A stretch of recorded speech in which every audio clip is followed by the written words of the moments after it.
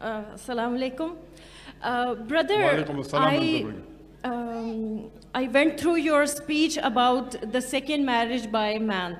Uh, men are very much fond of having more than one marriage, and Islam do allow them for that. Even for that, they, no need, they don't need a permission from their first wife, second wife, in case they are going for third or fourth. My question to you is that there is less patience among the female side and the social circumstances where there is very hard to lead one family when the person wants to go for two, three, when they know they can't have justice with them. In such condition, certain states have made it a compulsory law that man before going there should get permission from the first wife. Still, do you say that avoiding the social circumstances or corruption among the relation where man mostly disowns the second or third wife or they divorce them just for the social pressures or family pressures afterwards, do you still say that they don't need a permission? Or if they do, in circum such circumstances, should such laws of state be religiously followed or not? Sister has asked the question that most of the men, they love having second wife. She did a survey, I think. Huh? I'm a victim to this. Sorry? I'm a victim to this. No, if you're a victim, you cannot put all the men in the same bracket. If you are a victim to certain things, you cannot say most of the men. You can say some men, no problem. Correct? So if you are a victim to certain thing, you cannot put all the men in the same bracket.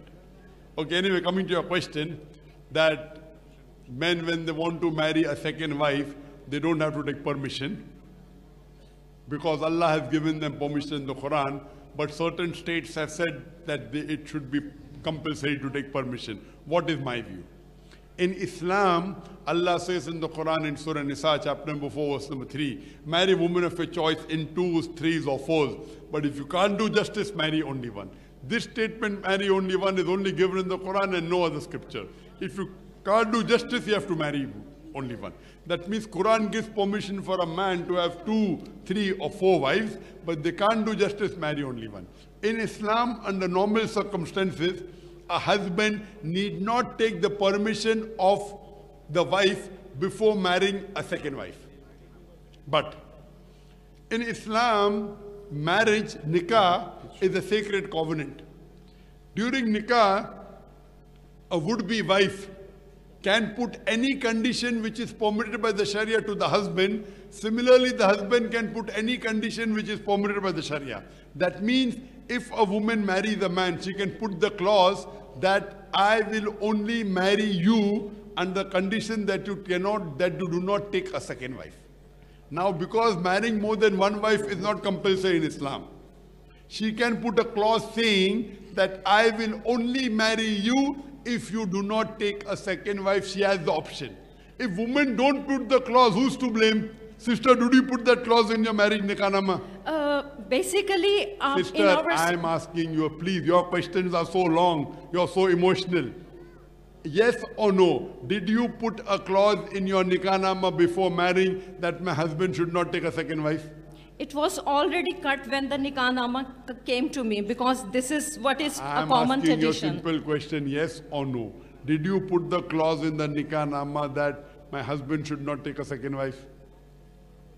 Did you I was not yes? asked for that. So who's to blame? If you did not ask for your right, who's to blame, he or you? If you don't ask good, even I will not ask. I'm asking, that means you did not know your religion, right or wrong? Did you know when you got married that you can put a clause in the nikanama? Did you know yes or no? No. Who's to blame, you or your husband? Who's to, now you know. Now you know or not? Sister, now do you know or not? Yeah, now I know. That means your nikah nama, you can put any clause, but you cannot put a clause. You, you cannot tell your wife, you cannot tell your husband, you should not offer salah, because offering salah is fard. So you cannot prevent your husband from doing something which is fard, neither can you force him to do something which is haram. You cannot say, I want you to have alcohol every day, because having alcohol is haram. But anything which is mubah, which is optional. You can put a clause saying, if he agrees, he'll marry you. If he doesn't agree, he won't marry you. Khalas. So if you don't know your deen, who's to blame? You or me? Who's to blame? Why are you talking about the state? Forget the state. Every individual Muslim, man or woman, can put any clause which is optional. You can put a clause that I will only marry you if you give me every month 50,000 rupees. No problem. Agree? Agree. Has the money, he will agree. No. Or you say 1 lakh rupees. Put a clause. He may agree, may not agree. You can demand the meher what you want. You know meher. How much meher you kept, sister? But if they promise Sister, a meher and how much afterwards meher? they are See, not I'm giving asking them. you a question. What is your, where do you come from? You are saying my name is so and so. What was the meher in your marriage? One lakh. One lakh rupees. What can you do with one lakh rupees today? It's worth nothing So why did you agree with that meher? Who's to blame? because you or there me? was no other option. Ah, so the problem is in you. Problem is that then you have to do. If there's no other option, that means you found the best. See, sister, Islam has got various options and varieties.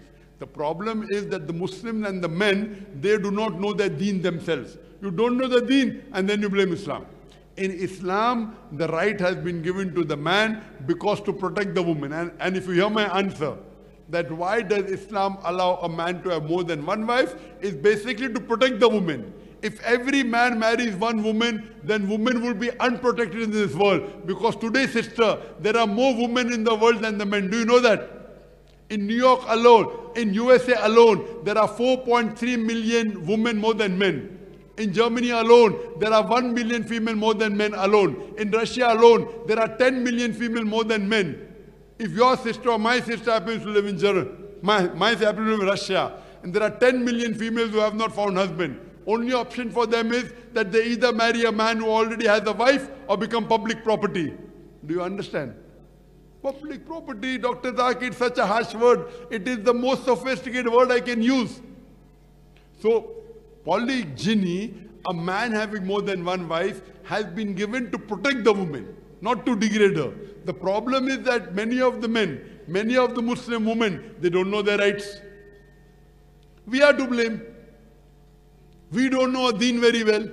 Our deen, the amount of rights that the woman has in Islam is phenomenal. In other religion, the woman has to give money, right or wrong? In India, you have to give dowry or not normally. Yeah, correct. Did you give dowry? Did you give dowry? no. You received it. Alhamdulillah. So Islam has given rights. If there is something happened with your husband and if he's not following Islam, then there are ways. I'm not telling, and one more thing, if your husband requires more than one wife, so why should you not support him? What is the problem? You tell me one thing, if the husband goes every day outside, huh? outside to other women, as long as he doesn't marry, most of the wives did not mind. No, no problem. बस चुपके से करो दुनिया को मालूम नहीं पड़ना चाहिए correct You go in America, eight different sexual partners before they settle down. A good Muslimah would say, I would prevent my Muslim sister from becoming a public property. I wouldn't mind sharing the husband. If she's a good Muslimah. Do you understand? Sister, do you understand? I I understand feel you're it well. emotionally so charged up just because your husband took a second wife. No, this is not the issue. Problem is he is not owning his relations. This is the problem. This not is my message of- by you to all the people who are here. Please, if you're going to own the relation, own them well.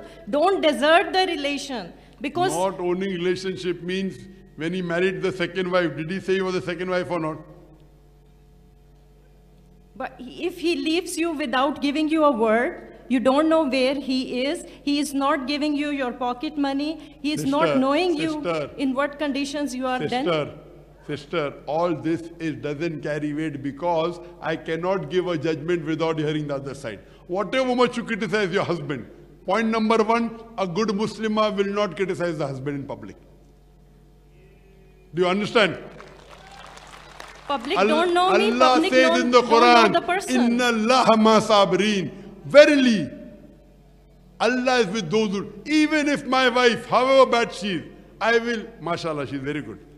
Mashallah, she's the best wife in the world. But even if my wife was the worst wife, I would never criticize her because I want to go to Jannah. Our beloved Prophet Muhammad Sallallahu Alaihi Wasallam said, the best Muslim is that who's the best to his family, including the wife. Now, if your husband hypothetically is not good, you be good to him, khalas. He should say, how much am I torturing my wife, yet she's praising me. His heart should melt. Irrespective the heart does not melt, you will go to Jannah. Do you know that, sister? You are losing your Jannah, sister. My advice from a brother to you is you are losing your Jannah by criticizing your husband in public. Do you understand, sister? But you're not understanding my question. I my don't have to understand. I don't have to understand you, sister, because I, as a person, cannot give judgment without hearing him. He's not present here. It is giba. It is gibat. My advice to you is that, sister, forget about gibat. Forgive. You will go to Jannah, inshallah. Hope that answers the question.